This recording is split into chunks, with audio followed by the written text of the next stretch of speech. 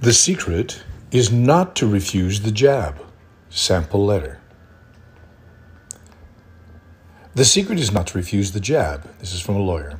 If you are being forced to vax in order to keep your job, here's a great way to handle it conditional acceptance. The secret is not to refuse it. I write with regard to the matter of potential COVID vaccine and my desire to be fully informed and apprised of all facts before going ahead. I'd be most grateful if you could please provide the following information in accordance with statutory legal requirements. Can you please advise the approved legal status of any vaccine and if it is experimental?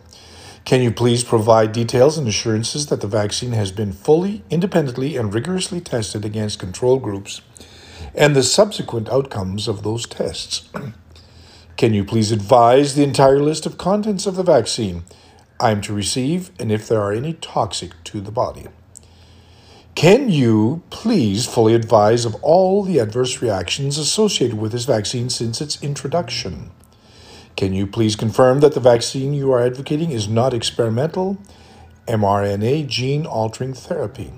Can you please confirm that I will not be under any duress from yourselves as my employers in compliance with the Nuremberg Code? Can you please advise me of the likely risk of fatality should I be unfortunate to contract COVID 19 and the likelihood of recovery. Can you please advise me if I were to experience any adverse reactions? Is the manufacturer of the vaccine liable? If the manufacturer isn't liable, will the company I'm currently employed with be responsible and liable, as it is their request that I have the vaccine in order to carry on my employment? Once I have received the above information in full, and I am satisfied that there is no threat to my health, I will be happy to accept your offer to receive the treatment, but with certain conditions, namely that you confirm in writing that I will suffer no harm. Following this acceptance of this, the offer must be signed by a fully qualified doctor who will take full legal and financial responsibility for any injuries occurred to myself and or from any interactions by authorized personnel regarding these procedures.